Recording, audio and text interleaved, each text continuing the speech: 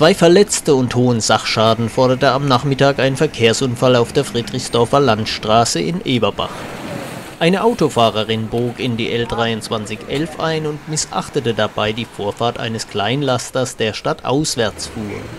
Bei dem Zusammenstoß wurden beide Insassen des Iveco-Transporters verletzt. Die Pkw-Fahrerin blieb dank ihrer Airbags unverletzt